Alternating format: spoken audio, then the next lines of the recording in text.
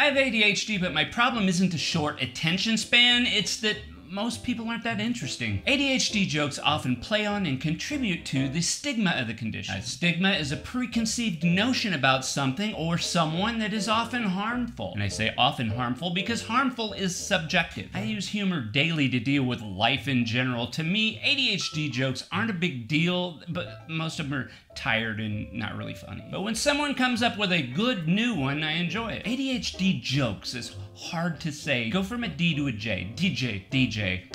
Go from I think some depression jokes are funny. A lot of people think no depression jokes are funny. Personally, I don't like OCD jokes at all, and that's coming from a person with chronic depression who's ADHD AF and doesn't have OCD. Years ago, I went to a comedy show with some family members. One comic had a routine about his crappy car, a Ford Escort, which he called the official car of Domino's Pizza. And at the time, back in the 1990s, that was an actual fact, although I couldn't find a picture of one to save my life. What I can say is don't Google the phrase Domino's Escort. In the USA, we didn't get the cool Escort. It came as a budget-friendly entry-level car with 85 horsepower, and my mom had one. This comedian spent about five minutes bashing the Ford Escort, and I noticed my mom didn't laugh at any of his jokes. As we were leaving the show, I saw she was still fuming, and I asked her what's wrong, and she complained about the Escort jokes. She said he was being insensitive to people who drive Escorts. This all goes to show you, no matter how innocent a joke may seem, name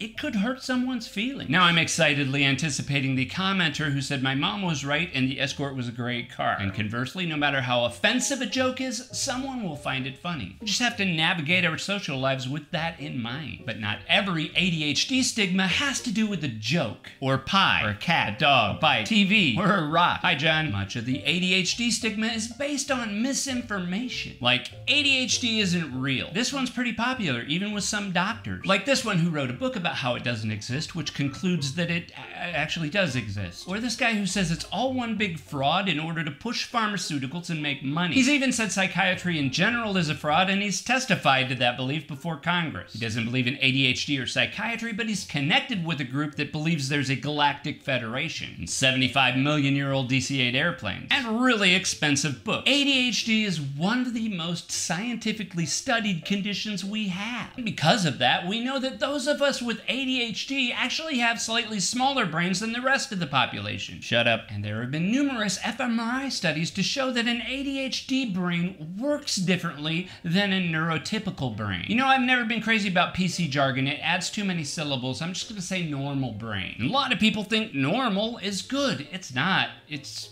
not bad. It's status quo. It's vanilla. And not that awesome and dolly awesome and dolly not that awesome and dolly video vanilla vanilla vanilla vanilla vanilla. Ah! It's vanilla and not that awesome and dolly vanilla from Jenny's. It's the store brand stuff with the freezer burn in the big plastic tub. Take that, normies. Anyway, studies have found that dopamine pathways in an ADHD brain work differently than those in a vanilla brain. And while it's true we don't know everything about ADHD, that's also true for pretty much everything else in our body. Here's one ADHD is an excuse for laziness. Sure, I'll leave the lasagna burning in the oven for five hours till the smoke alarm goes off because I don't feel like getting up and I really like scouring pans. You just want amphetamines. First of all, obtaining and filling a prescription for Ritalin or Adderall is a pain in the butt, and remember, you just said we're lazy. Everyone gets distracted, sure, and everyone gets sad, but not everyone's depressed. Lots of people get drunk. Doesn't mean all of them are alcoholic. And everybody pees in the pool. That doesn't mean that ADHD makes you creative. It makes you impulsive and more willing to take risks, which can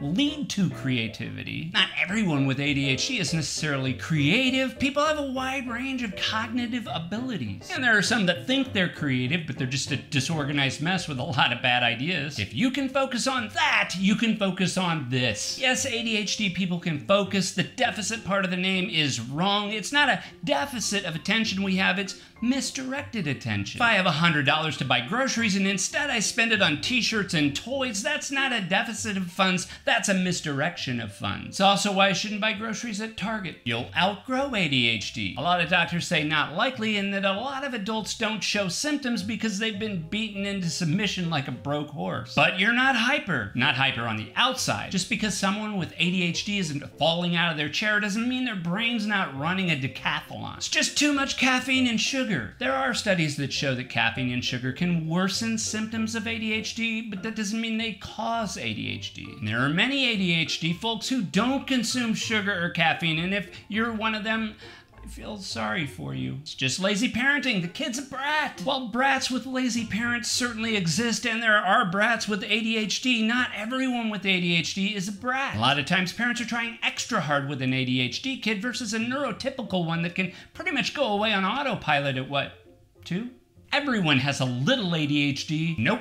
Just like not everyone has depression, alcoholism, or urolagnia. Meds like Ritalin and Adderall give someone an unfair advantage. Yeah, just like glasses or wheelchairs or insulin. ADHD is overdiagnosed. And that one's possibly true, but it doesn't mean the condition doesn't exist. It's like the whole gluten thing. It's crazy, but some people actually have celiac. If I earned your subscription, please hit the button and the bell. My kid also makes videos. I'll link her at the end. Thanks for watching. Stay out of the comfort zone. Mars, the only planet we know of inhabited totally by robots. Eight robots have successfully landed on Mars.